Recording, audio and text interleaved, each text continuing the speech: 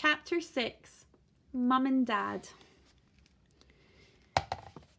Straight to bed, announced Grandma as she loomed over Eric at the kitchen table of her little terraced house. Do you hear me? Straight to bed. There was no chance of the boy not hearing her.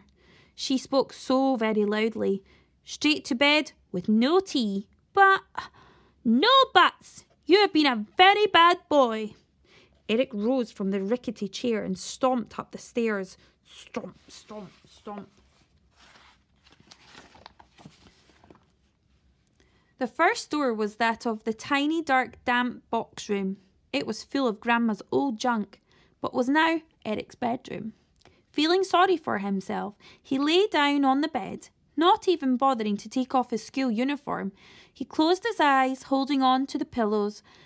He imagined he was in the middle of a lovely family cuddle and muddle. He's having a thought bubble here, isn't he? His dad had been killed six months before, during the summer at Dunkirk.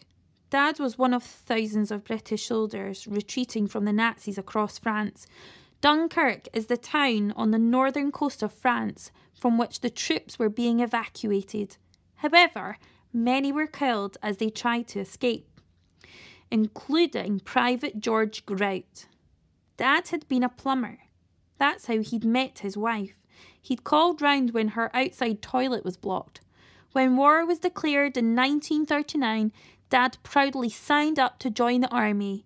He was determined to do his bit to keep Britain safe from Nazi invasion. However, his war would not be a, long one. After surviving a number of fierce battles in France, tragedy struck at Dunkirk. The ship in which he was being evacuated, HMS Grafton, was torpedoed by a Nazi U boat or a submarine. Eric's mum was devastated when she received the telegram. Her darling husband was gone. She wept and wept and wept. Eric feared she might drown in her own tears, just as so many soldiers had drowned at Dunkirk. It was very scary seeing his mum so sad. Would life ever feel normal again? Strangely, there were still normal things to do.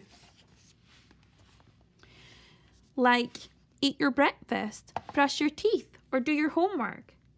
After her husband's death, her de- uh, death, Mum was more determined than ever to help with Britain's war effort. She worked at a factory sewing parachutes for Spitfire pilots. However, tragedy was to strike Eric's short life again when a Nazi bomb destroyed the factory during a night shift. No one got out alive. One moment Mum was there, and the next, she was gone, just like with his dad. Eric didn't even have the chance to say goodbye. Nothing felt real to the boy anymore. It was as if they were in a dream, or rather a nightmare, where he was trapped under water, and if they cried out, nobody could hear him. Uh, now the boy was an orphan. It was hastily decided that Eric should go to live with his grandmother. The problem was that Grandma wasn't good with children. Up there in the tiny box room of her house, Eric nestled himself between the two pillows on his bed. He dreamed they were his mum and dad. The pillows were cold and damp. Still, he shut his eyes. Maybe, just maybe, if he concentrated hard enough, he would find himself back in a perfect family muddle. His daydream ended as the door swung open. I brought you some bread and dripping, announced Grandma. Eric hadn't been expecting her and hastily sat up on the bed, pushing the pillows to one side. He felt silly that the old lady might see him like this. Oh, thank you, Grandma, he chirped. He liked bread and dripping. Dripping was the fat from cooked meat, and it was tasty if you spread it on bread. He wolfed it down as the old lady perched next to him. I'm sorry I snapped at you, Eric, she said. This was this war is hard. I lost a son. You lost a father. And of course you you lost your mother too. I just couldn't bear it if any harm came to you. I understand, Grandma. he spluttered, his mouth full of food. As Eric spoke, he sprayed breadcrumbs all over the floor. This made them both chuckle. Chuckling was not something they did much together.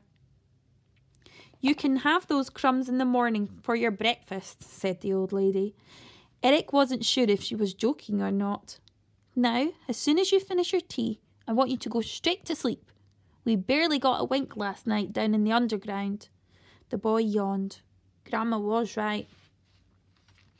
And you need to be bright and breezy for school in the morning. Eric nodded weakly.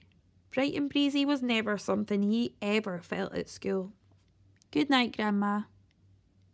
Porridge? No, I said good night. No need to shout, dear. Good night, Grandma. Good night, boy. The old lady wasn't one for hugs and kisses, so she tapped the boy on the head as you might pet an as you might a pet instead, kind of tapping him like that. With that, she stood up and left the room, closing the door behind her. Eric walked over to the grimy little window and looked up at the sky. It was dark and quiet right now, eerily so. Would the Nazi bombers return tonight?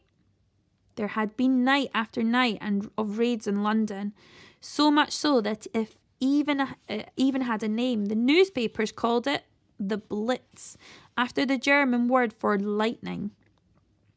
Adolf Hitler's plan was to force Britain to surrender to the Nazis. As Eric gazed across the frosted rooftops of London, his thoughts turned to Gertrude. The Nazi bombers were sure to strike again this evening, and the gorilla had been left deeply distressed by last night's bombing raid. In his heart, Eric felt a deep longing to be with her. If he was by her side tonight, he was sure he could make things all right.